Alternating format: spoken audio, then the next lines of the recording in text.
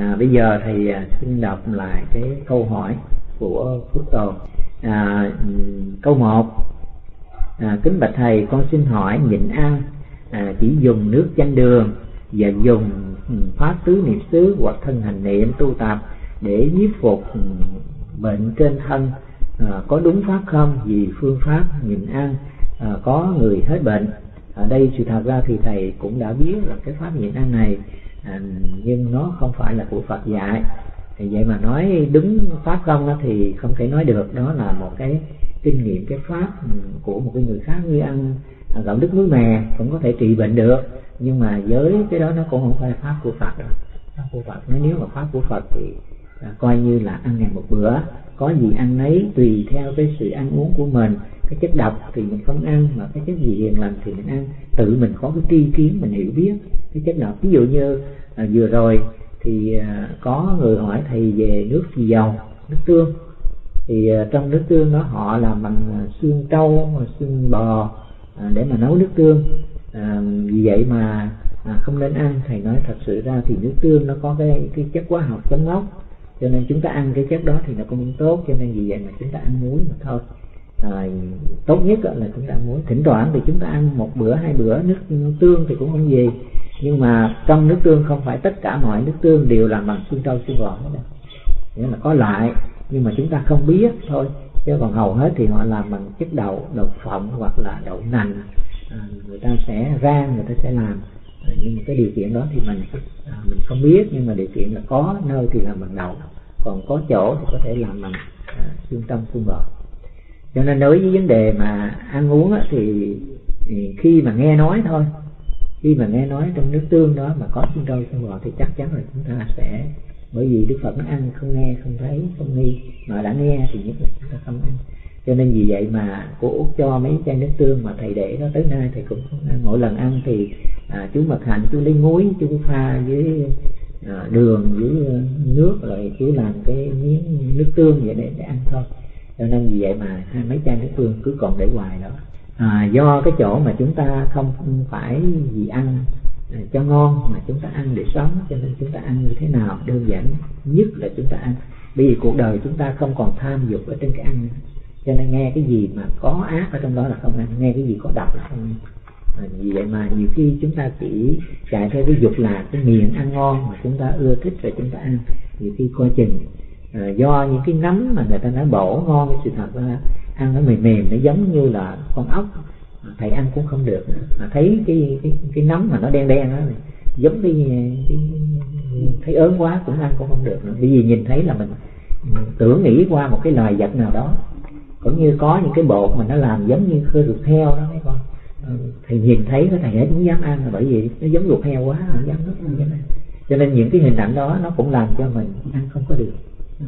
À, do những cái ví dụ như là rau cải rồi gì đó đơn giản hoặc là những cái rong mà chiên rồi đó thì nó là cái những cái rong đó thì mình có thể ăn được. Còn những cái món ăn mà kể như ngon mà nó làm giống như cái đùi gà nhỏ nhỏ vậy thầy thấy cũng không dám để cho chó ăn hết à, cái đồ ngon cái đồ đó là nghe nói chứ nó nó nó, nó bổ không biết chứ nhưng mà điều kiện là thấy cái giống cái cái thịt gà thịt heo là không dám ăn không muốn ăn.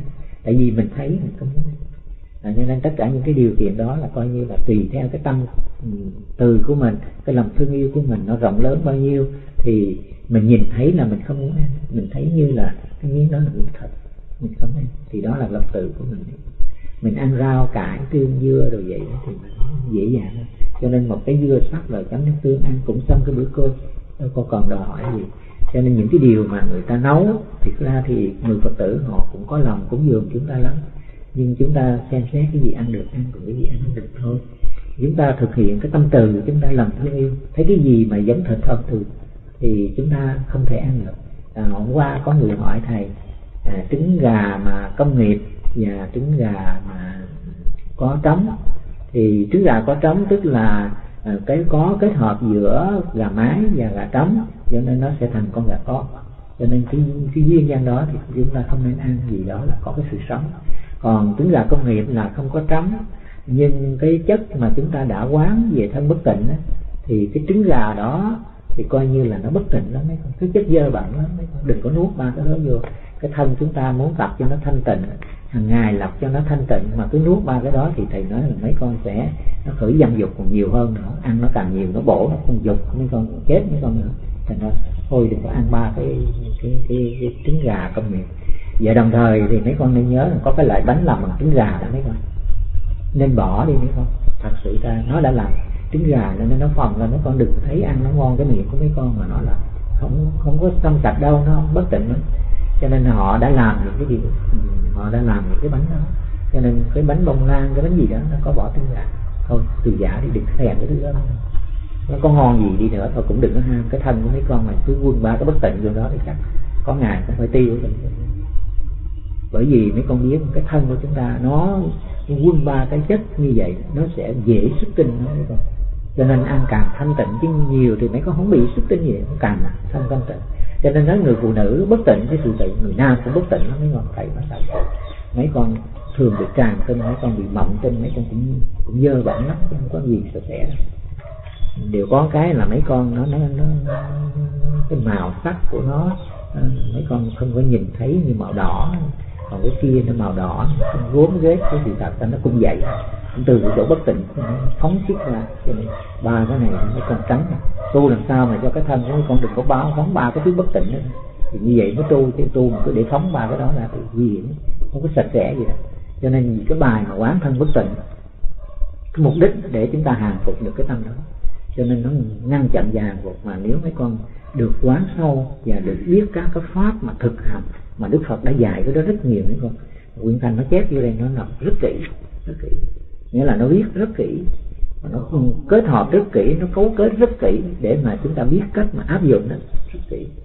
À, cho nên vì vậy mà ừ, biết cách như vậy mấy con phải thực hiện để mà chúng ta ừ, giúp cho cái thân của chúng ta được thanh tịnh. Và cái chất đó là nó cái chất nó có thể cái năng lực của nó. Sau này nó trở thành cái năng lực của thân của mấy con đó. chứ không phải là thường đâu. Cái chất đó là cái chất năng lực mà chúng ta tiêu hao nó nhiều quá thì chúng ta không có năng lực, chúng ta tu gì cũng năng lực cho nên cái mục đích chúng ta phải lìa cái tâm sắc dục. Mà lìa được cái tâm sắc dục thì phải quán tâm bất tịnh, nó mới lìa được. Mà không có nắm được cái phương pháp mà quán tâm bất tịnh thì nó không có lìa, không có nổi. Cho nên vì vậy mà các con phải cố gắng khắc phục, nhất là chúng ta tuổi còn trẻ. Nói tuổi trẻ chứ tuổi già nó cũng nó cũng đi ở trên con đường sắc dục chứ chưa phải là thật tâm. trừ ra một người tu như thanh tịnh ờ, như thầy thì nói nó hoàn tất được cái tâm của mình nó không còn sắc dục, cái lơ mơ nó bị sắc dục đó nó không phải dễ đâu. Cho nên thầy cho nên khi mà ngài đại thiên mà nói là người chứng của a la hán mà còn xuất tinh mà, thầy nói ông này chẳng biết gì hết, nó đậu chưa có biết chứng của a la hán là như thế nào dám nói còn xuất tinh thì cái người này chưa biết chưa biết mà dám đặt điều nói bậy. Cái đó là cái sai. Cho nên sự thật rằng cái người mà chứng của a la hán là cái người tâm vô lậu. Vô lậu thì không còn một chút dục. Không còn một chút dục làm sao có nghĩa là cái thân nó tập trung mà nó xuất tinh được. Nó mới con thấy trong cái vấn đề mà kinh sách và các tổ đã nói sai trong vấn đề đó, đã làm cho người ta lầm lạc rất lớn một người tu như thầy, bao giờ mà còn thầy nói thật sự cho mấy đứa không biết. Cái thân nó thanh tịnh, đến khi mà có những gì bất tịnh là nó phản ứng liền nó thanh tịnh rồi, nó chấm lại những cái cái cái không thanh tịnh. Ăn vô một cái món đồ gì là nó sẽ chấm lại liền nó không có để chúng ta thiếu thanh tịnh. Đó thì cho nên vì vậy mà đối với cái phương pháp mà không phải của Phật, thì như hồi nãy thầy đã nói à, cái phương pháp mà không phải của Phật thì như nhịn ăn nó không phải là phương pháp của Phật. Nhưng mà vì các con chưa có đủ đạo lực cho nên vì vậy mà các con nhịn ăn thì thầy cũng chấp nhận. Chứ sự thật ra khi mà chúng ta biết cách tu rồi thân chúng ta có bệnh đau gì đó thì chúng ta sử dụng cái pháp như lý đáp ấy cố gắng mà dùng nó từng phút từng giây để mà đẩy lui. Mà khi mình dùng nó cái pháp nó thì nó sẽ tạo thành cái tứ thần tốt cái lực cho mình. Còn mình đi dùng cái khác á, thì coi như là nó sẽ hết bệnh đi. Nó cho nó hết bệnh đi. Thì nó được cái lực gì? Nó có cái lực gì? Mà khi mà chúng ta có những cái bệnh như vậy là chúng ta sử dụng pháp của Phật để làm chúng ta tạo cái lực. Khi mà cái lực mà bây giờ thì bây giờ chúng ta tạo, dùng cái phương pháp của Phật mà chúng ta đẩy lui được cái bệnh đó là nó bao nhiêu lần tích tập những cái lực đó mà trở thành cái lực của chúng ta sau này sử dụng. Nó không phải quý báu sao? Cho nên mỗi khi mà cái thân của mấy con có chứa ngại thì điều đó mấy con tập trung vào pháp như lý tác ý thì mấy con chuyển tất cả những cái bệnh đau đó, nó sẽ lành mạnh. Mấy con tin lời đức phật tác một tác ý một cái tướng khác thì tướng kia sẽ bị diệt.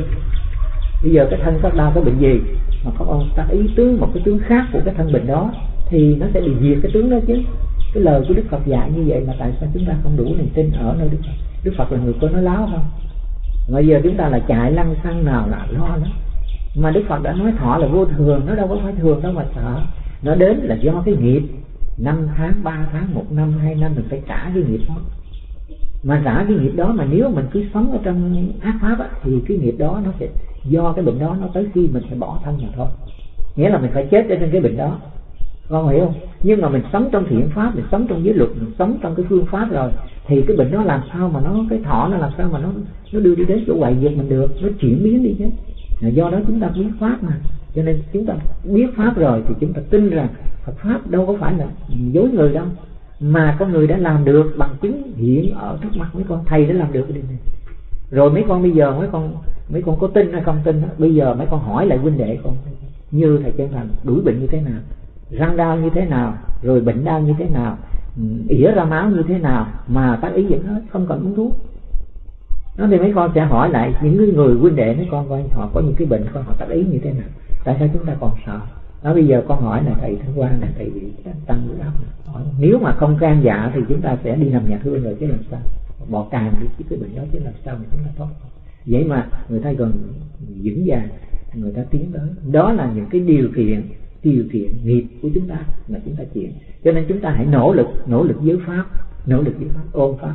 Cho nên đức phật nói trên thân quán thân để khắc phục tâm trên cái thân của mình, quán thấy nó có thọ rồi, thì làm sao cũng phải khắc phục tham ưu ở trên đó, tức là bằng phương pháp, chứ không phải bằng vài cái pháp.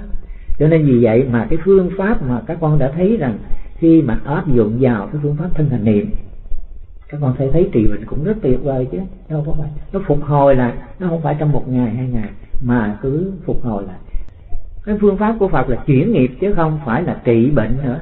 Chuyển cái nghiệp của mình. Cho nên vì vậy mà mình chuyển bằng phương pháp bằng phương pháp chuyển nghiệp làm chủ nghiệp mà. Chứ đâu phải là mình còn đang bị nghiệp nữa. Cho nên vì vậy mà con thấy uống thuốc hoặc nhịn ăn. Nhưng mà rồi có người nào nhịn ăn mà hết bệnh luôn đâu? Có phải không? Con thấy không? Có mấy người mà nhịn ăn rồi nhịn ăn họ hết cái bệnh đó chứ mai mốt rồi cái nó cũng có bệnh nữa. À, họ nghĩ nghĩ nhịn ăn ít bữa cái nó cũng trở lại nữa cái con mà nhịn ăn hoặc là ăn cháo ít bữa ăn trở lại nó cũng sức thừa hơi rồi y vậy.